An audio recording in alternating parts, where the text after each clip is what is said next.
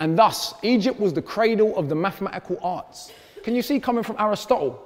That's a big compliment. There's another quote from Aristotle, I'll paraphrase, but he's basically insulting the ancient Egyptian priests because they wouldn't give him all of their secrets. He's acknowledging they had knowledge they would not share with him. And he insults them for it, not something we look at today. They had a value for pi of 3.16, which with no calculators, thousands of years ago is pretty impressive. I must point out that value is on a papyrus reed that we know is a child's school textbook.